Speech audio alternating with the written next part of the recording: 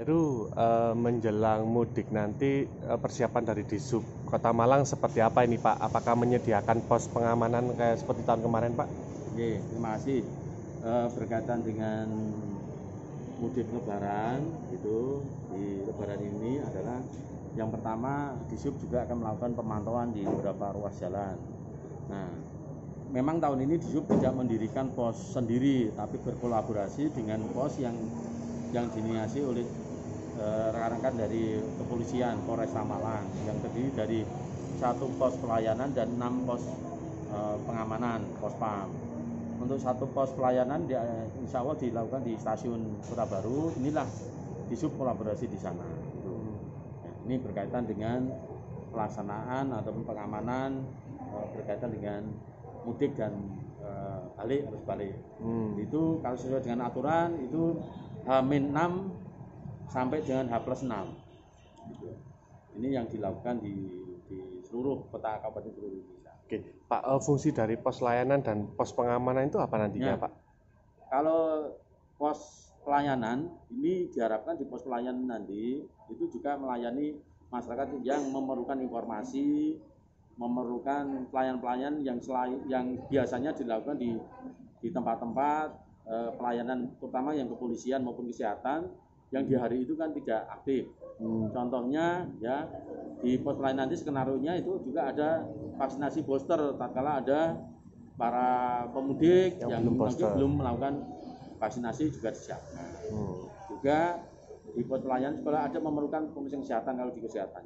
Kemudian kalau di perhubungan jelas kita menyampaikan kalau di perhubungan di perhubungan di sana itu memberikan informasi terkait kondisi trafiknya. Karena di Disub kemungkinan nanti di pos pelayanan kita akan buka di apa eh, operator ATCS kami juga ada di situ sehingga kita Hmm. bisa mantau kondisi-kondisi ruas-ruas jalan, traffic-traffic yang kemungkinan ada sedikit perlu penyusuan kita lakukan. Misalkan di traffic itu kepadatannya di arah tertentu, otomatis di situ kita sesuaikan di dari melalui di pos itu. Oke, Pak, kalau untuk pos PAM dan posyan ini titik-titiknya ada di mana saja Pak? Ini sedang di- dimatangkan yang yang sudah final itu pos posiannya di depan stasiun. Hmm. Untuk pos pamnya ini ada di di pintu masuk seperti di di sekitar pintu tol Madiopuro, letaknya Hmm. nanti kita tunggu. Kemudian di arah eh, Maju. selatan itu Oh. yang semula biasanya di Panji Suroso kemudian kita geser agak ke ke masuk atau ke Oh. arah eh, selatan. Soal antisipasi kemacetan saat nanti arus mudik lebaran seperti apa ini Pak? Nah. Titik-titik rawannya di Kota Malang di mana saja nih Pak Heru? Nah, titik rawan ya biasa ya kemacetan ya. Mudah-mudahan karena di Malang itu begini, antara yang mudik ya, yang keluar kota Malang dengan yang masuk itu berimbang. Hmm. Ya. Bahkan yang biasanya mudik di kabupaten, toh mereka belanjanya juga di Malang. kota Malang. Ini ya. Sehingga eh, kenapa di di dalam kita menentukan pos itu di samping kita membantu kelancaran di mudik ya maupun balik, kita juga di tempat-tempat perbelanjaan. Hmm. Ya, makanya kemungkinan nanti ada pos yang ada di, di tengah kota, di sekitar alun-alun. Itu ada di sana. Oke, oke. Siap. Terus eh, titik rawan-rawan lagi Pak, eh, nanti pengamanannya seperti apa Pak? Apakah eh, menerjunkan berapa personel nanti yang bertugas saat Kalau personel harus kita mudik? kolaborasi ya, kolaborasi dengan Hah? TNI, Polri, dengan jajaran kemudian dengan relawan di sana. Tapi semua dikoordinir oleh teman-teman dari Polresta. Hmm. Iya. Tapi kita bisa lakukan di dua dua cara bertindak. Satu melakukan rekayasa, mengalihkan mengalihkan arus itu kita lakukan. Atau yang kedua ya kita akan buka tutup.